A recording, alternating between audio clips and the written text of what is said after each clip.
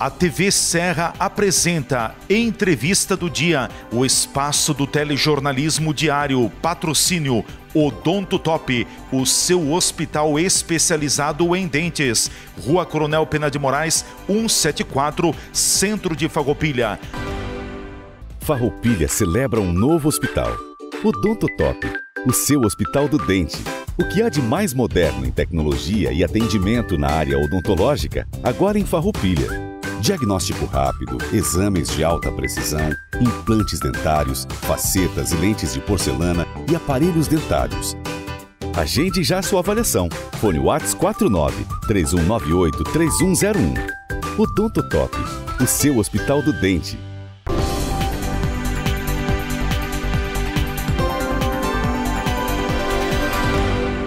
Meu abraço, a minha saudação a você que está ligado aqui na nossa TV Serra Farroupilha. Quero te cumprimentar, te abraçar e te agradecer pelo teu prestígio, pela tua audiência. Muito obrigado por diariamente nos fazer companhia e também por nos trazer o retorno que vocês nos acompanham. Que bom! A nossa entrevista do dia começa a partir de agora com o patrocínio da Odonto Top, o seu hospital especializado em dentes na Rua Coronel Pena de Moraes, 174 no centro de Farroupilha, bem aqui próximo próximo do estúdio da TV Serra Farroupilha. Então, tem aquela dorzinha chata na hora da mastigação dos alimentos, tá te incomodando, tá te, é, te deixando desconfortável? Agenda a tua consulta na Odonto Top. É só ligar 54 3698 1103. Eu disse Odonto Top, o seu hospital do dente. Pois é, hoje é mais um daqueles programas especiais, porque além de uma profunda conhecedora de todas as causas que envolvem a questão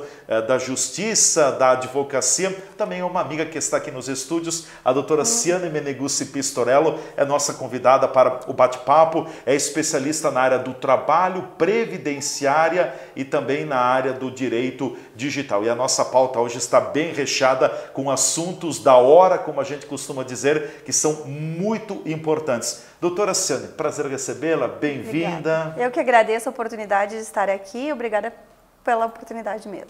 A gente tem se encontrado, vou quebrar um pouquinho a pauta, a gente tem se encontrado nas últimas edições da RA SIC Caxias do Sul, sobretudo nas duas últimas segundas-feiras também com a presença da presidente do Tribunal de Justiça do Estado do Rio Grande do Sul e depois com o presidente da seccional Rio Grande do Sul da Ordem dos Advogados do Brasil. Só fazendo um pequeno, uma pequena, uh, pequeno comentário, eu fiquei impressionado, doutora Ciane, quando que a desembargadora Iris Nogueira colocou colocou a informação de que nós temos mais de 5 milhões de processos eh, que estão tramitando na Justiça do Estado do Rio Grande do Sul. Depois, na entrevista coletiva, até questionei a desembargadora também. É praticamente metade da população do Rio Grande do Sul Claro que tem gente que tem mais, né? mas vamos colocar assim: é como se metade da população do Estado tivesse alguma questão judicial em andamento. Né? Só na esfera civil, né? Isso. Fora direito do trabalho federal.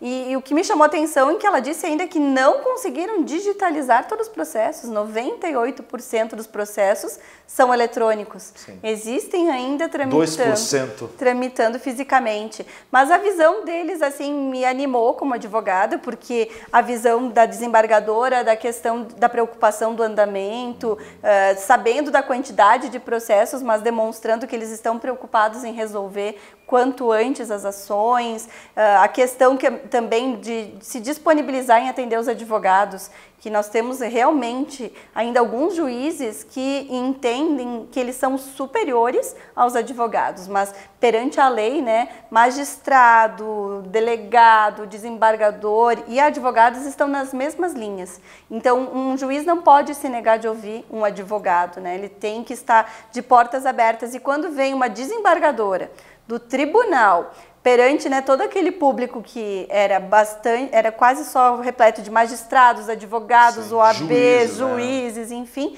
Aí a gente vê ela dizendo que ela está de portas abertas para ouvir. E nos comentários nas mesas as pessoas relatando, olha, realmente ela nos recebe, a gente faz, uh, cria uma esperança que isso se modifique, né? Através da postura da presidente do tribunal, a gente consiga ver outros magistrados, outros juízes também dando essa abertura. Que por vezes, tu explicando para um juiz uma situação, não é para ganhar um processo, mas às vezes tem um erro no processo.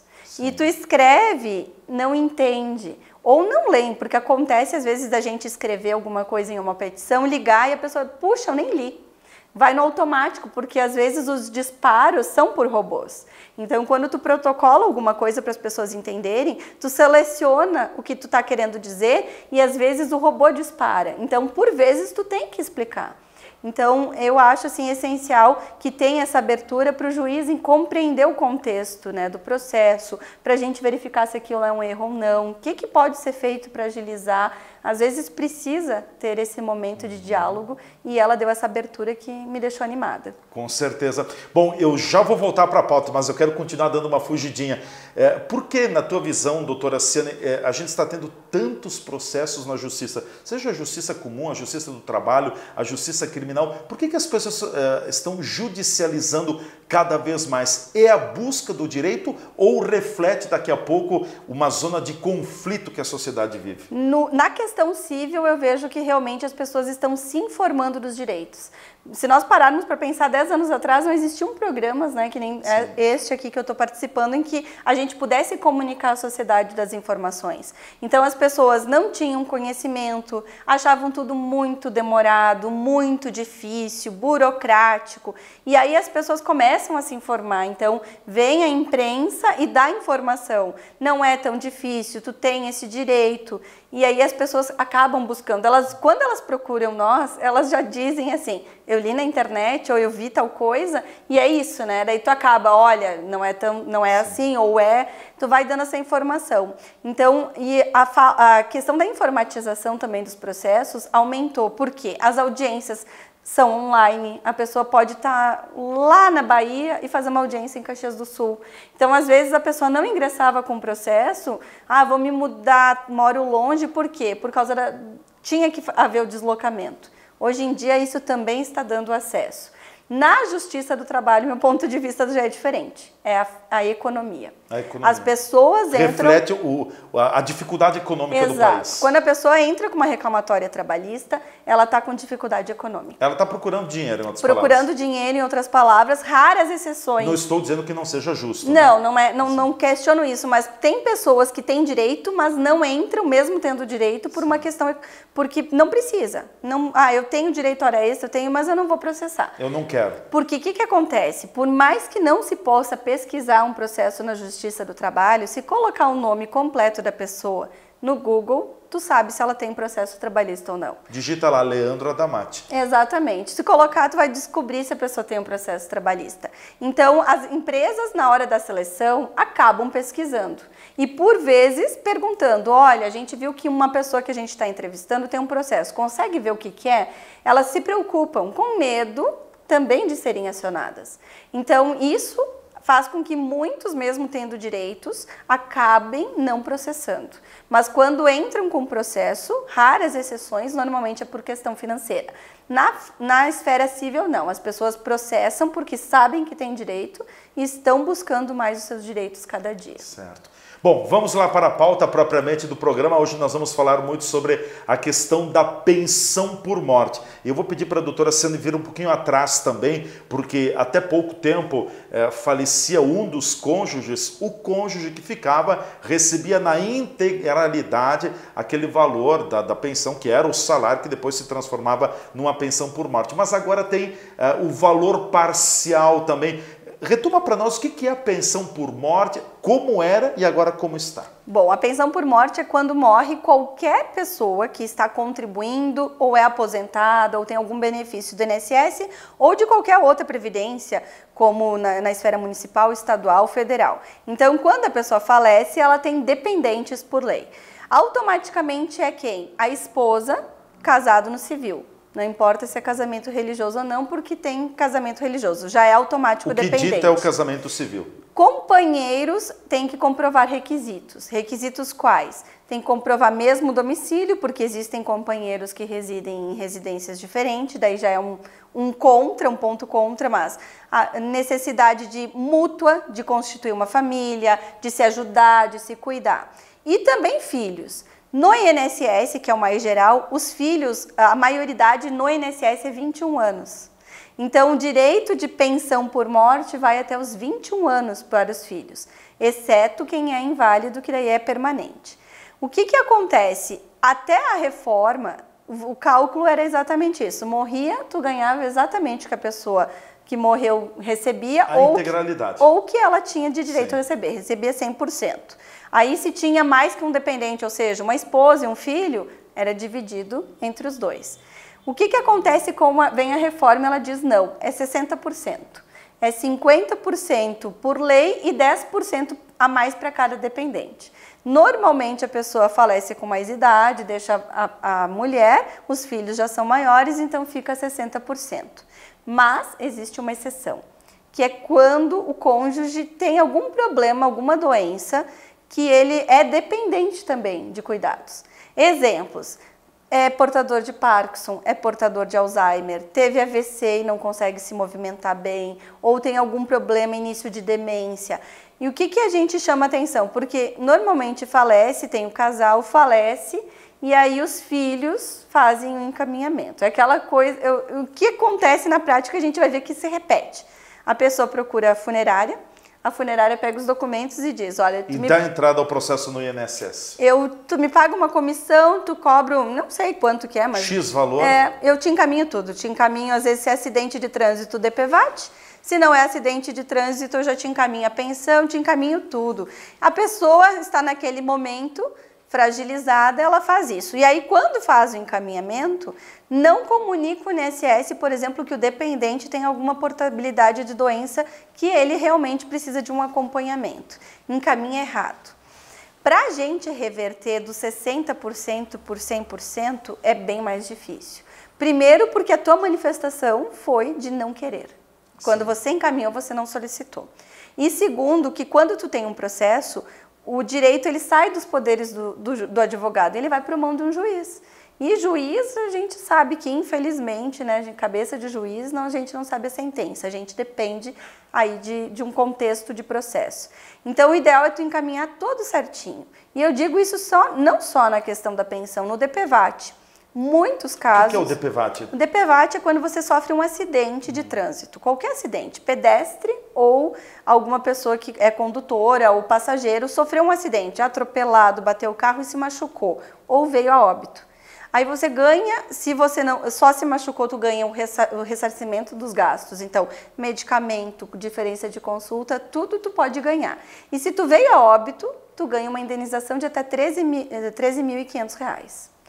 Normalmente, o que, que é o problema? Quando tu encaminha o DPVAT, tem que cuidar se tem filho, se uh, tem companheiro constituído ou não, qual o regime de bens em caso de companheiro ou casamento. Tudo isso influencia, porque a pessoa faleceu. Entra dentro do DPVAT um direito sucessório. E aí, se tu encaminha errado, primeiro que tu vai receber errado. E segundo, tu também pode uh, não receber toda a integralidade desses 13.500. Por quê? O DPVAT vai ficar em dúvida. Ah, mas lá na certidão consta que tem um esposo, uma esposa. Não vou pagar tudo. Depois, vai levar dois, três anos num processo judicial para provar que foi encaminhado errado, que tu tem direito à integralidade e corre o risco ainda de perder. Em caso de invalidez, também o DPVAT. Então, tu sofreu um acidente, tu vai para o hospital. O que, que acontece? Não é o correto mas alguns, eh, algumas pessoas que trabalham no hospital acabam se oferecendo para fazer o encaminhamento. Se tu sofre uma invalidez, ou seja, tu sofreu um acidente e não consegue mais caminhar 100%, então tu sofreu uma consequência, tu pode ter também direito a uma indenização. Só que se tu não encaminhar correto e tu não comprovar através dos laudos que tu tá realmente com aquela doença, tu não vai ganhar indenização integral. Tu vai ganhar só ressarcimento das consultas, que normalmente, ou remédio, que é mais barato. Então, às vezes é melhor tu esperar dois meses para encaminhar o DPVAT, que é o período que tu está melhorando. Então, não sabe quais as sequelas. Tu sofreu um acidente, tu não sabe ainda quais são as sequelas que tu vai ter. Tu vai voltar a mexer a perna direito, tu tá 100%, como é que vai ficar o movimento do teu braço? O que, que a gente aconselha? Calma. Espera dois meses, vê se o tratamento vai ficar 100%, vamos ver os laudos. Quando tu encaminha se é invalidez, tu vai ganhar mais. Agora, se tu encaminhou antes e só pediu ressarcimento para trocar para invalidez, tu vai precisar de um processo e pode ser que tu não ganhe. E aí o que, que acontece? Ou tu vai para um hospital e as pessoas te iludem para encaminhar logo e tu encaminha errado, ou às vezes a gente vê muito caso de funerária. Fazer um encaminhamento equivocado, não arrola todos os dependentes, daí depois num processo para a gente arrolar todo mundo dois, três anos, e aí as pessoas precisam do dinheiro. Começa, Se torna sabe? tudo muito mais moroso. É, e mais estressante para o contexto. E isso também na pensão. Então, o que, que acontece também? Às vezes tu tá lá no luto, Tu enterrou a pessoa, vai todo mundo para casa, daí vem lá um genro, um tio, um... eu sei encaminhar. Baixa o aplicativo, começa a encaminhar, encaminha tudo errado. Aí quando não vem os despachos, não vem as exigências na pensão, e aí está feito totalmente a problemática. Então, calma, sabe? O ideal que eu sempre aconselho assim, calma, vive o luto, na semana seguinte te, te informa, uh, procura orientação, faz com orientação as coisas, não sai fazendo. Por vezes, tu contrata o advogado mais para tentar resolver o que foi feito errado do que realmente conseguir o direito, sabe, em si.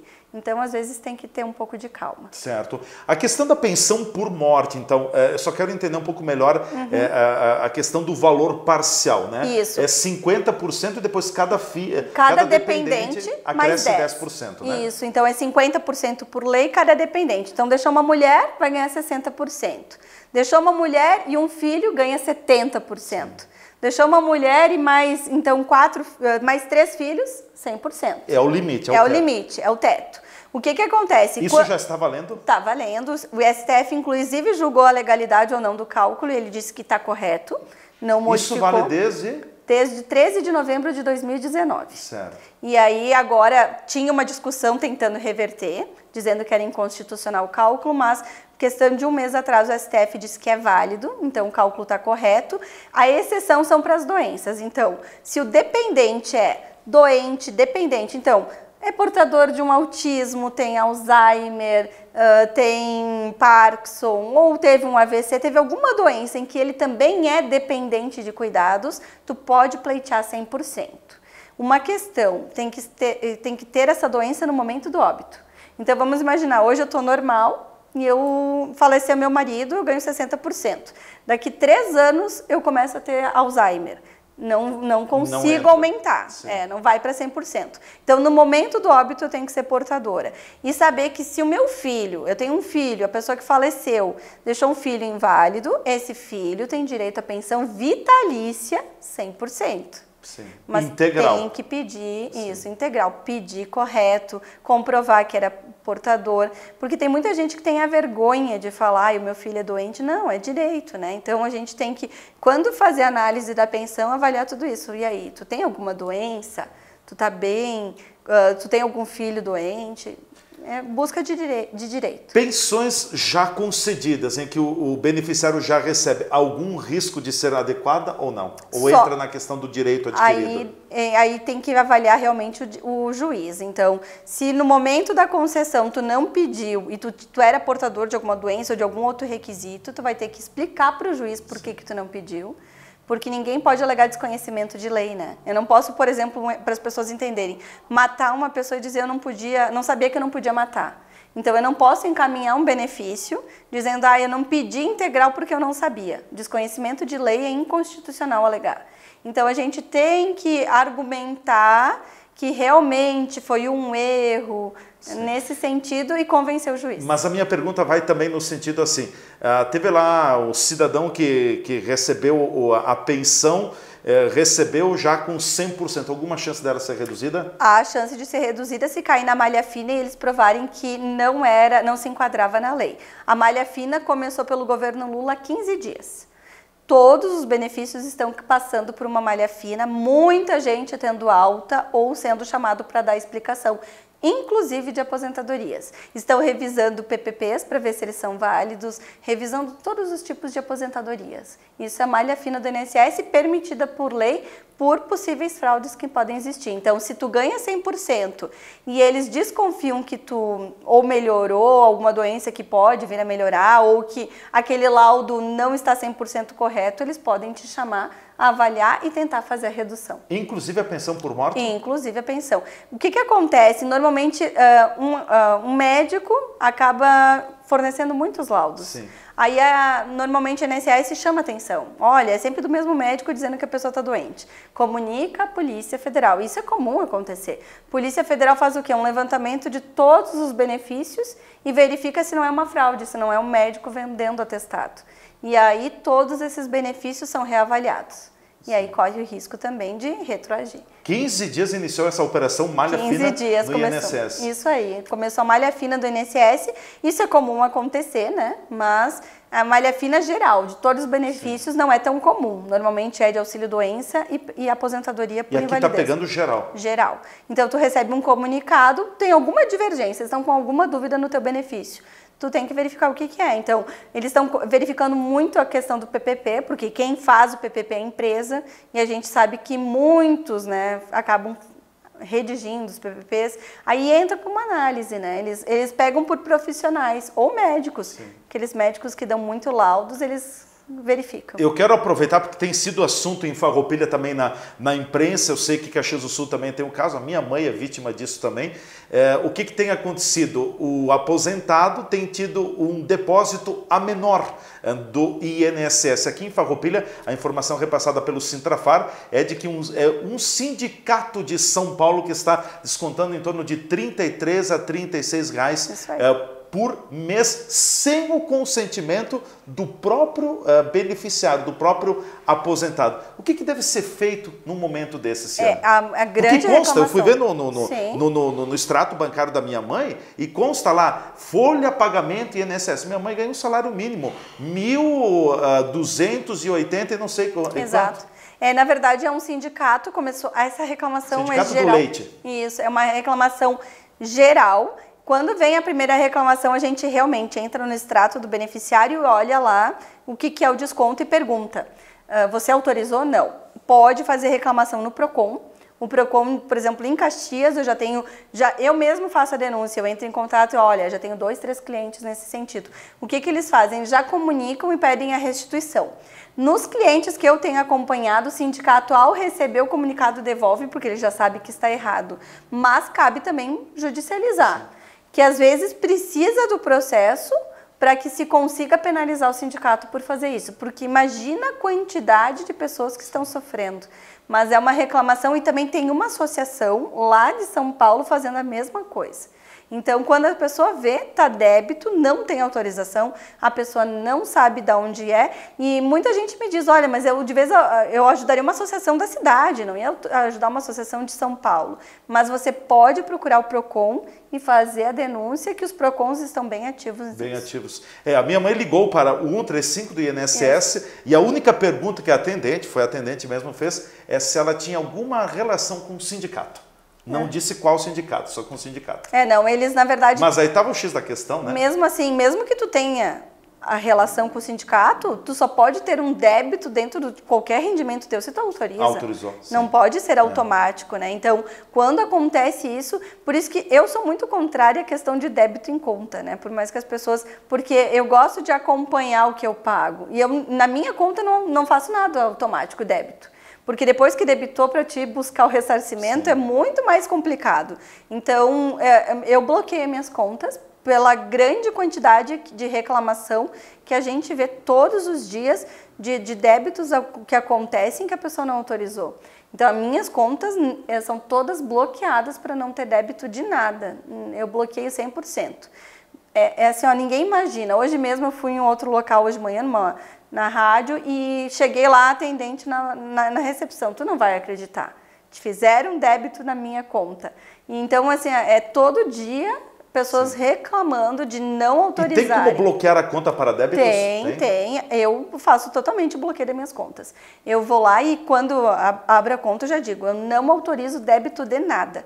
Então não tem débito automático de nada. Tudo Sim. que eu pago, eu que vou lá e digito o código de barras e eu que faço a transação, mas eu não autorizo nada débito automático. Bom, nós vamos ao nosso intervalo, em seguida a gente volta falando mais com a doutora Ciane Meneguzzi Pistorello, é nossa convidada no dia de hoje. A gente volta em seguida.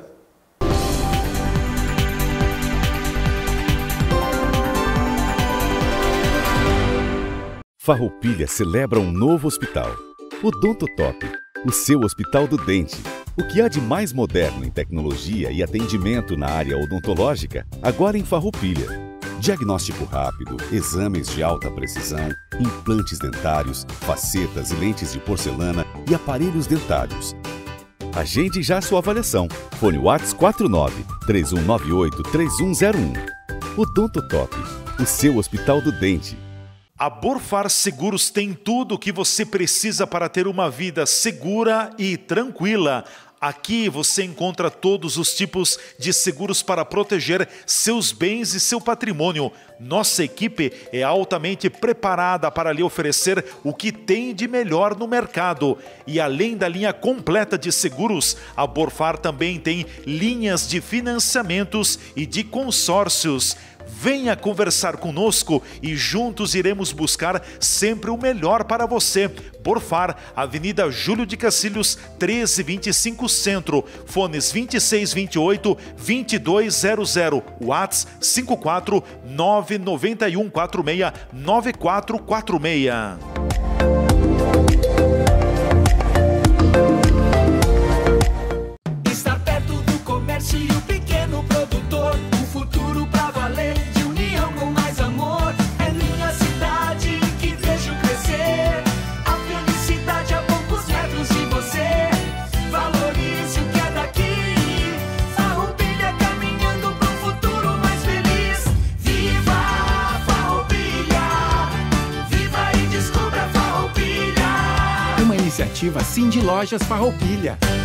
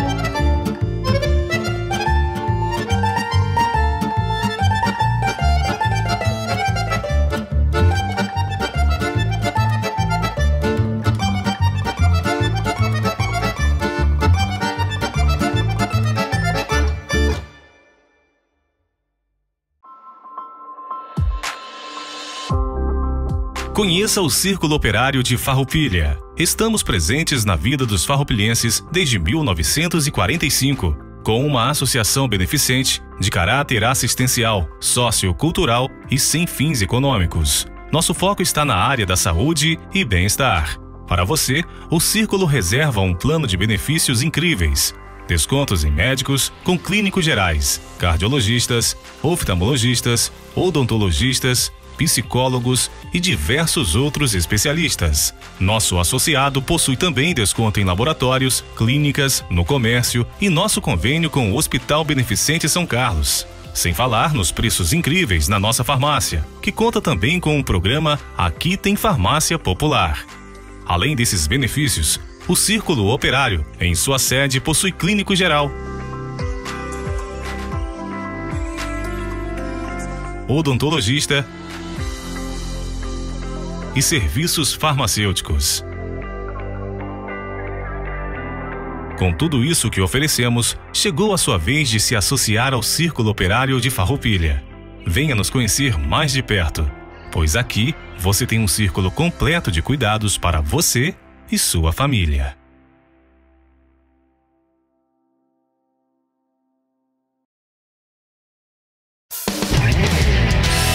A gente não tem Big no nome à toa, não.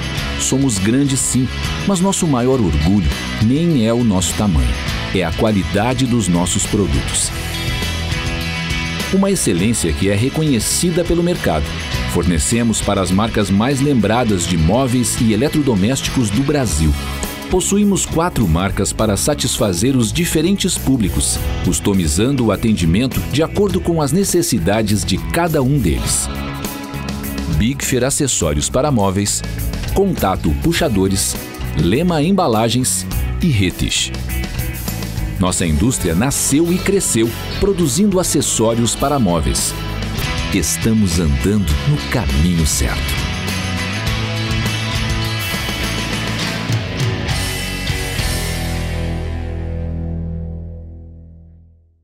Você sabe como funciona a previdência dos servidores públicos de Farroupilha? Bom, no Brasil existem alguns tipos de previdência.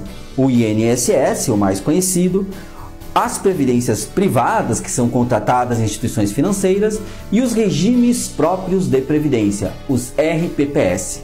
No caso do município de Farroupilha, os servidores públicos municipais contribuem mensalmente, desde 1990, para um RPPS, um regime próprio de previdência.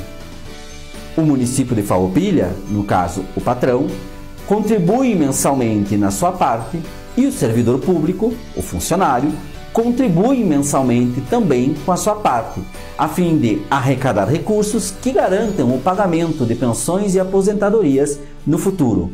Essa é a regra desde 1990.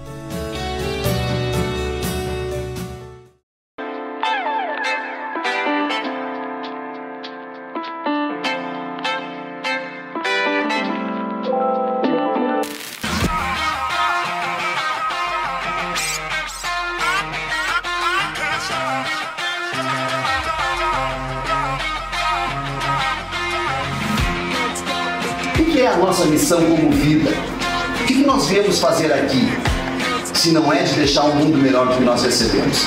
No Hard Rock Hotel, Residência do Gramado, vai transformar a vida de todo mundo. Muito obrigado.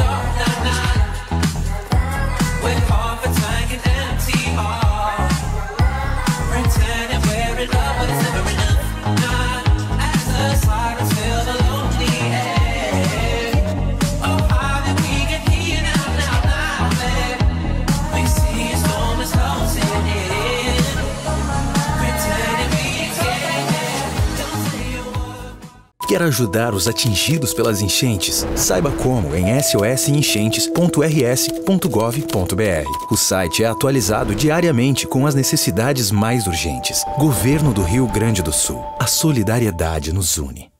A TV Serra está apresentando Entrevista do Dia. Patrocínio Odontotop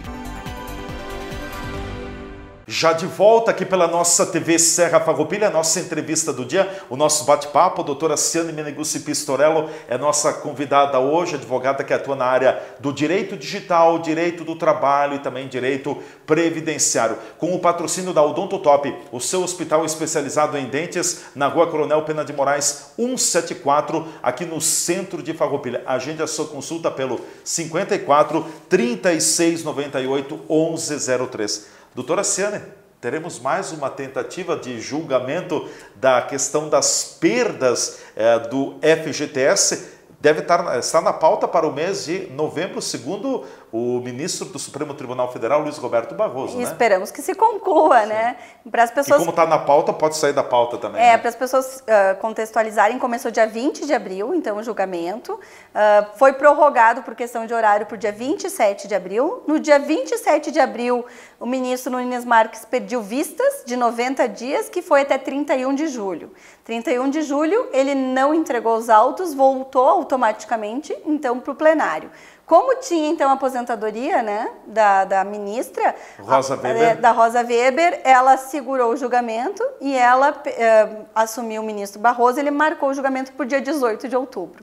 Dia 18 de outubro. Dia 18 ou 8? 18. 18. 18. Chegou dia 18 de outubro, Eu, eu já estava com uma pipoca lá no escritório querendo acompanhar o julgamento e aí simplesmente vem a notícia que o ministro Haddad pediu uma reunião com o ministro Barroso e aí o, o Haddad quis expor as, as, perdas que o governo o vai impacto. ter, o impacto financeiro e aí ele adiou o julgamento para 8 de novembro. Sim. Então a expectativa total para 8 de novembro, mas uh, assim acompanhando, né? A gente acaba pedindo assim para acompanha pessoas que trabalham em cima só disso. Eu tenho um, um amigo que ele, tra ele trabalha na, dentro da CARF lá em Brasília, ele se formou comigo, então eu fico muito perguntando o que ele está fazendo, inclusive participando da reforma tributária.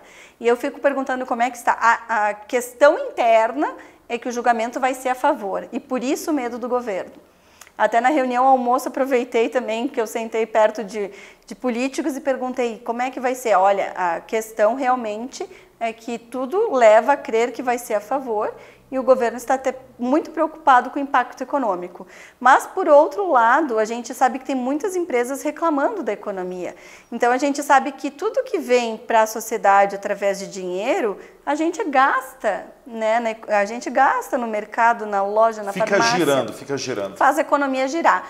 Então, agora a expectativa total, mas pelo contexto da lei, pelo contexto dos julgamentos que nós temos durante Já toda... temos quantos votos? Dois votos Dois a favor. Votos. Inclusive, a ministra, antes de se aposentar, ela já expôs, reiterou o voto dela que ela gostaria que fosse mantida a favor. Sim.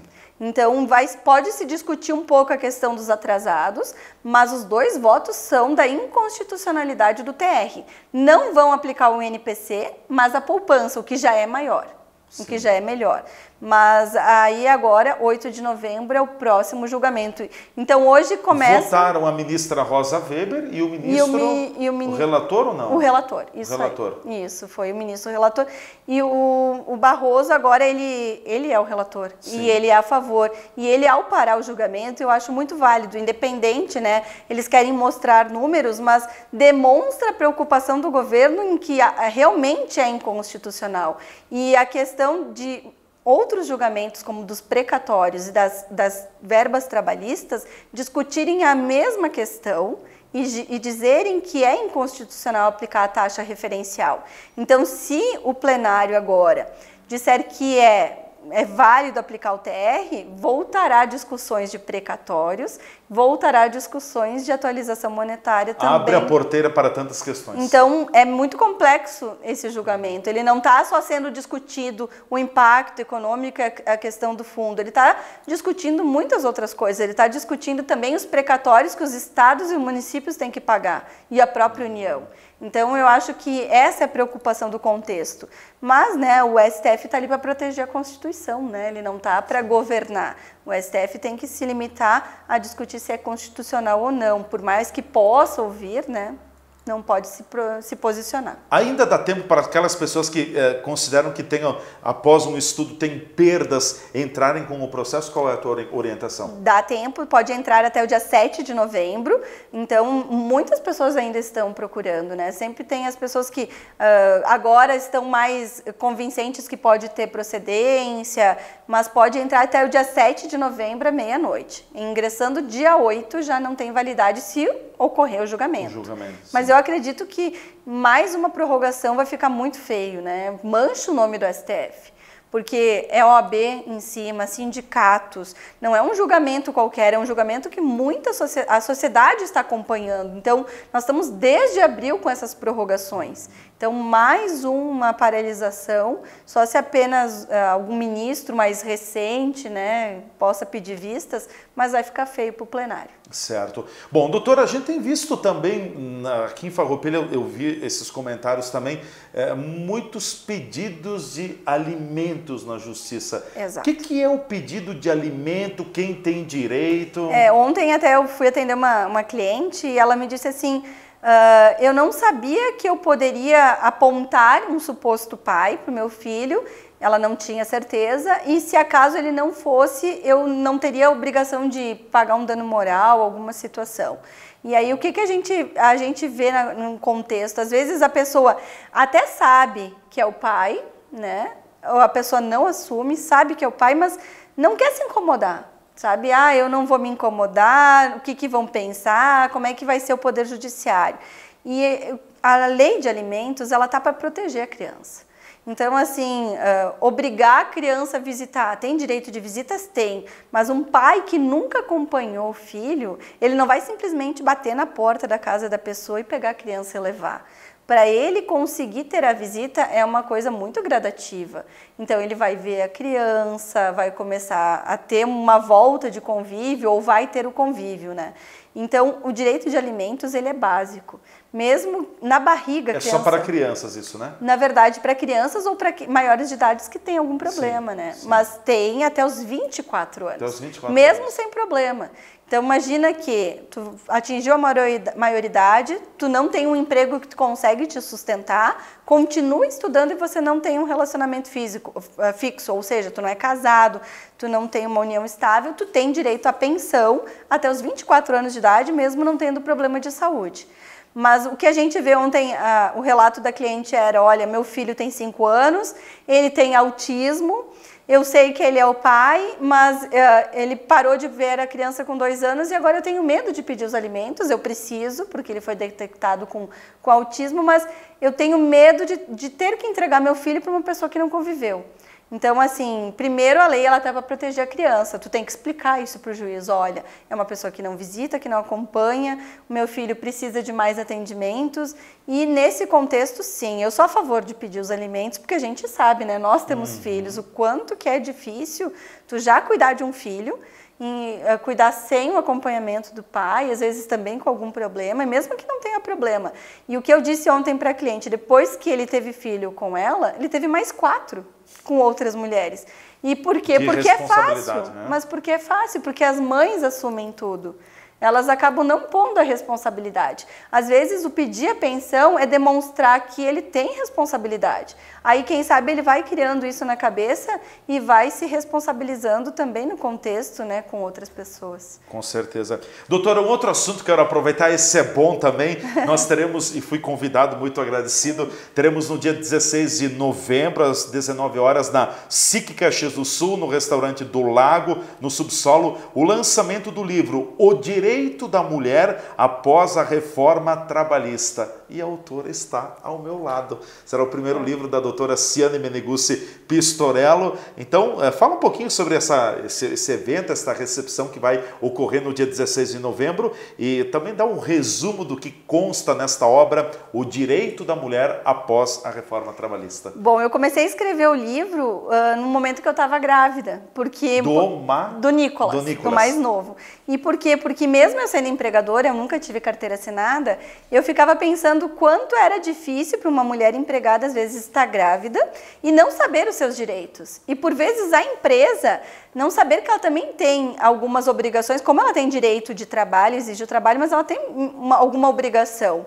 E, e, o que eu comecei a entender é que quando a empresa sabe das responsabilidades e a empregada sabe também, a relação fica mais fácil. Então, se eu sei que a minha empregada tem o direito de amamentar o filho, 30 minutos e tem por duas vezes ao dia 30 minutos o direito de amamentar o filho, eu vou saber que eh, ela vai, eu respeitando esse direito, a empregada vai ficar mais tranquila no regresso dela para o ambiente de trabalho. Vai produzir mais. Vai produzir mais, vai ficar uma relação mais saudável.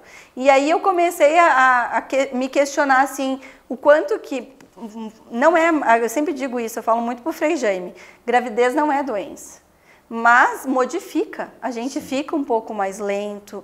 Eu, assim, quando eu estava grávida, eu contratei cinco pessoas para me substituir.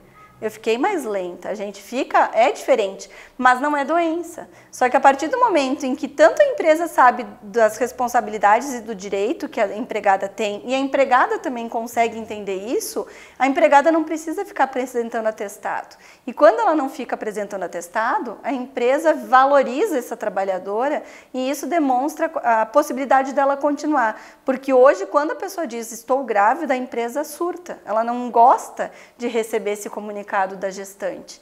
E a gestante acaba por não ter, às vezes, o direito respeitado, buscando atestados, e aqui que acontece? Termina a estabilidade, termina a relação. Então, o livro vem nesse sentido. Na minha realidade, de ver que era é, necessário, nesse momento, repensar, mas também para meio que conscientizar que existem direitos a serem repensados. E aí então veio a questão de fazer o lançamento, né, o medo de fazer o lançamento de um livro. Então, poxa, será que vai alguém? Vai, com certeza. E, e aí eu tive muito apoio do Frei Jaime, quero agradecer. O Frei Jaime, não, vamos fazer o lançamento. Inclusive o Frei Jaime vai estar também no lançamento, Vai né? estar no lançamento. Ele, a Neuza Fante também, que me apoiou muito. Ela é minha psicóloga, psicóloga da também minha família. foi minha psicóloga. E escritora de oito livros. Então, uh, ambos vão estar fazendo uma roda de conversa. Eu falando um pouco do direito, o Frei Jaime falando um pouquinho da questão espiritual nesse momento, né, de, de gestação, de emprego, e a Neuza a parte psicológica que tudo isso gera Sim. no ambiente de trabalho. E um evento na SIC, que eu uh, tenho gostado muito dos eventos da SIC, gosto da questão empresarial que ela apoia todos nós empreendedores e contando com a participação de todos, né? Inclusive Bom, o de evento, você. O, estaremos lá. O evento é aberto ao público, não tem, não tem custo, né? Não tem custo. Só na aquisição do livro, obviamente. Não, né? e se quiseres, né? O, quiser, a, Vai ter sessão de autógrafo também, né? Isso, é, é um evento aberto ao público com essa roda de conversa, vai ter um pequeno coquetel e também, a, mas o livro também não é obrigatório, não tem custo nenhum, o livro não é obrigatório adquirir, mas é um momento também, né, de aproveitar e entrar nesse mundo. Eu sempre tive Sim. o sonho de escrever um livro, mas era algo muito inatingível para mim. E daí, quando chegou essa oportunidade, a gente fica com medo do novo e muito feliz. Assim, eu sou a igreja da UX então, quando a gente foi convidar alguns professores, meus orientadores, me convidaram para palestrar. Então, a gente fica feliz em ver que o assunto o interessa, sim. o apoio. E como eu também dou aula na FSG, o pessoal também, né, querendo participar. Então, fico bem feliz. Muitos clientes, amigos, assim, felizes com esse momento, a gente fica bem realizado. Que bom, estaremos lá. Ciane, mais uma vez obrigado, até novembro. Até novembro, obrigada. É, tem mais dois programas até o final do ano. Eu sei que ela vai sair de férias ali no dia 15, 18, a Ciane sai de férias. Antes das férias de dezembro, tem mais um, mais, aliás, tem um de novembro e tem o um programa de dezembro também, que pauta não vai faltar. Tudo de bom, que Deus obrigada. sempre te abençoe. Obrigado. Amém, obrigada. Ficamos por aqui, um forte abraço, até amanhã com mais uma edição da nossa entrevista do dia.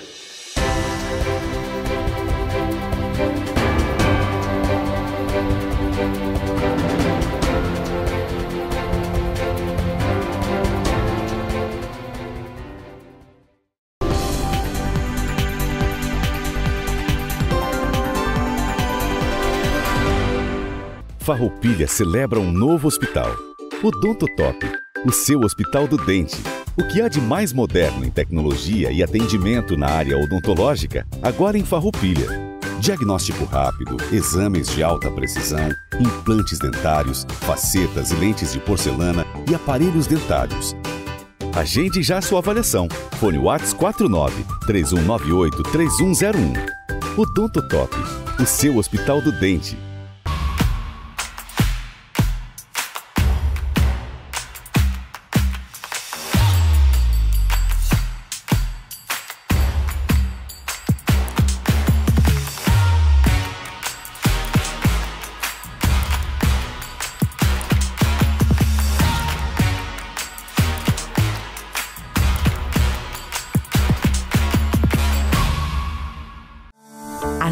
CDL Farroupilha apresenta Natal Premiado CDL 2023. De outubro a dezembro, a nossa cidade estará inundada pela magia do Natal. O tema deste ano é Magia que Contagia, refletindo tudo que o Natal desperta e representa, como alegria, esperança, carinho e união. União que movimenta e fomenta as vendas do comércio local nessa época festiva. Serão aproximadamente três meses de campanha, com dois grandes sorteios e 70 mil reais em prêmios. O primeiro sorteio acontece em novembro e contará com as seguintes premiações: um vale compra de mil reais um vale compra de 800 reais e sete vales compra de 500 reais. Já o segundo sorteio ocorre em janeiro, com mais um vale compra de mil reais, um vale compra de 750 reais e oito vales compra de 500 reais. E ainda teremos o maior prêmio da campanha, um carro Quid zero quilômetro. A CDL tem o compromisso de valorizar o comércio local, auxiliando o lojista a aumentar as vendas através da campanha. com materiais alusivos que embelezam e chamam atenção para a sua vitrine. Divulgação da campanha em diversos locais e diferentes mídias. Disponibilização de materiais para movimentar as redes sociais das lojas participantes. E muito mais. Para o consumidor participar, é muito simples. A cada 100 reais em compras, os clientes têm a oportunidade de concorrer aos 70 mil reais em prêmios. Basta preencher o cupom entregue pela loja na hora da compra e colocar na urna, que já está concorrendo. As urnas serão distribuídas para todas as lojas participantes e também na CDL. Quanto mais o cliente comprar, mais chances terá de ganhar. A campanha é registrada e para validação do cupom será necessário ter o carimbo da empresa, além de todos os dados preenchidos corretamente. A adesão à campanha acontece até dia 30 de setembro. Participe, lojista! E faça deste Natal pura magia junto com a gente. Natal Premiado CDL. Realização CDL Farroupilha. Apoio Biamar, Círculo Saúde, Cressol e Sicredi. Ho, ho, ho.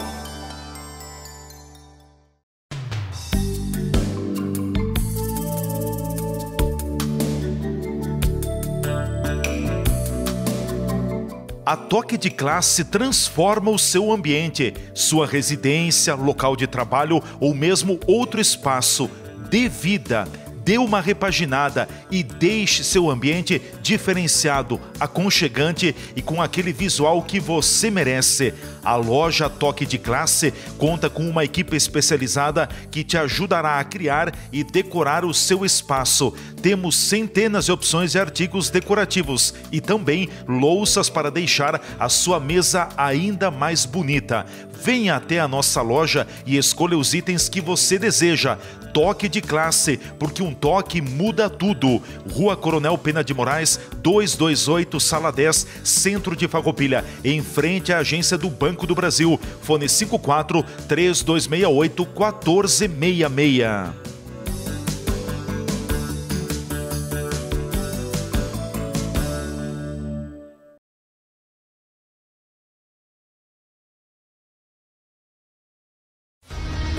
Sabe qual a diferença do trabalhador da iniciativa privada e do servidor público? Na iniciativa privada, o trabalhador tem direito ao FGTS, seguro-desemprego e acesso a financiamentos com recursos do FGTS. Já o servidor público tem somente o direito ao salário. Apoie e respeite quem trabalha pelo seu bem, independente de bandeiras políticas. Programa de Valorização dos Servidores Públicos, SISMUF, Sindicato dos Servidores Públicos Municipais de Farroupilha. A Milon Móveis e Esquadrias tem as soluções para sua obra, construção ou reforma. Móveis planejados para sua casa ou ambiente de trabalho, a Milon faz. Aberturas de madeira e alumínio, a Milon também faz. Uma equipe de profissionais preparada para apresentar o melhor projeto e a melhor solução para a sua necessidade. Tradição, qualidade e experiência é com a Milon há mais de 43 anos, marcando presença na sua vida. Em Nova Milano, Rua Ismael Piazza, 450, fones 54 3268 0550 e 984 34 81 17.